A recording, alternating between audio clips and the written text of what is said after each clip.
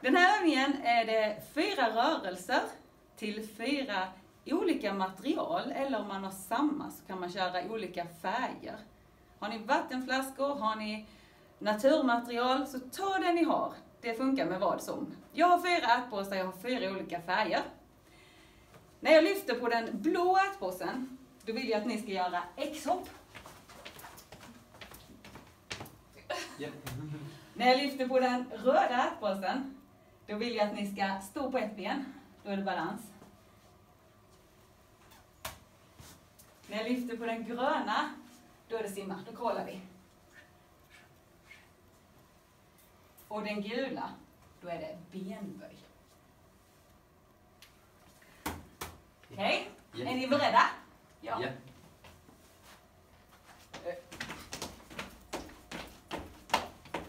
Snyggt!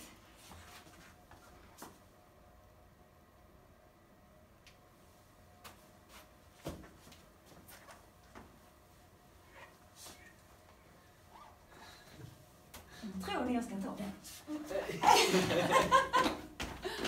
Härligt!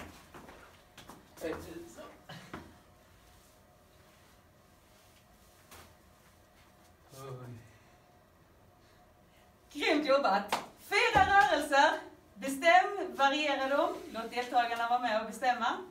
Så länge ni håller den i handen, eller håller upp, så kör de, så kör de, så kör de. Sen byter vi. Bra jobbat!